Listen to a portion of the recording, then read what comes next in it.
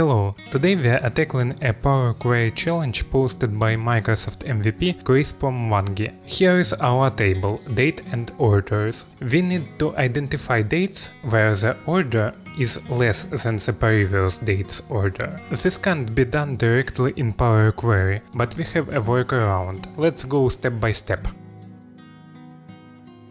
First, load the data into Power Query.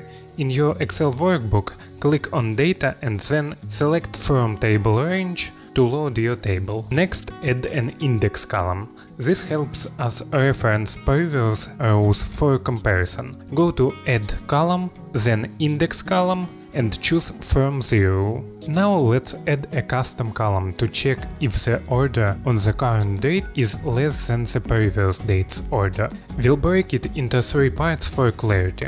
First, we'll check if the index is even.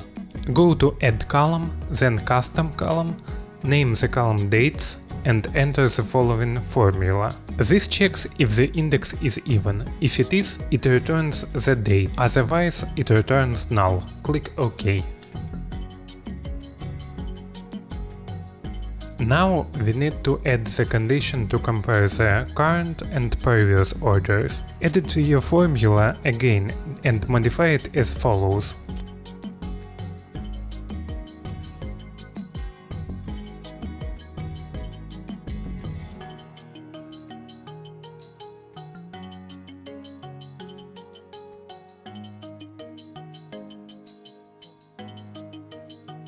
To remove the error in the first row, use try otherwise in your formula.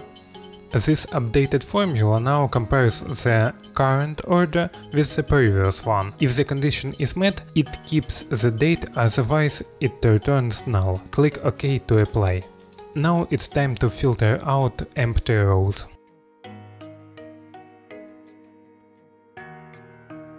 Finally, let's select our dates column. And let's not forget to change the type of our column to date. And there you have it. We've successfully identified the dates with orders less than the previous date using Power Query. This technique can be applied to various scenarios where row-to-row -row comparison is needed. If you found this video helpful, give it a thumbs up and subscribe to my channel for more Power Query tips and challenges. Thank you for watching and see you next time.